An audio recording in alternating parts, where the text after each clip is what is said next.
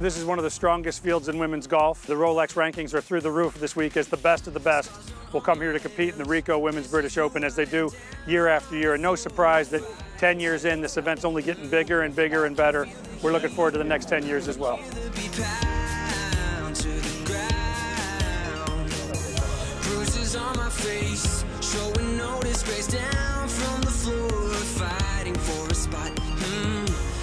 victory, it's just them and me now. Throw down, yeah, a lot of mud.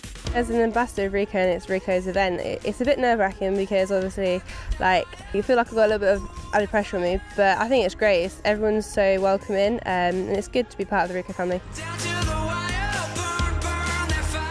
I'm super excited to be here at the Ricoh uh, Women's British Open. You know, it's always been so cool to be able to travel and now I'm in England and just enjoying it with my older sister Brittany. Um, and you know, it's tree line course this year, which seems to suit my game a little bit better. Um, so I'm hoping, you know, to get off to a solid start on Thursday and have four solid rounds. Know, it's, it's different here, you know, it's not like an everyday course we play. Uh, you know, I feel like there's a different vibe and you know, the fans are great. I think it's a, I think a breath of fresh air. Uh, you know, it's definitely different, and, and I think everybody in their career would love to win a British Open.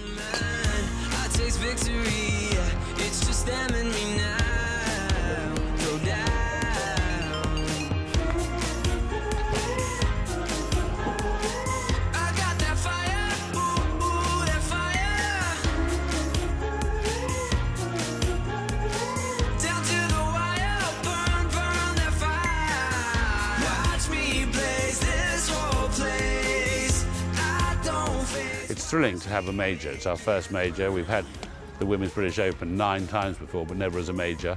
Ricoh have done it beautifully. I mean, just looking around the way IMG and Ricoh run an event is stunning. Like sun.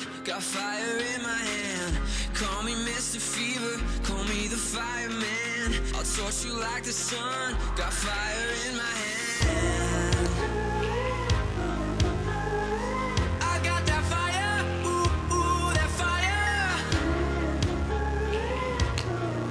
I like England, I like the course, and I have I really enjoy and have so much fun this week.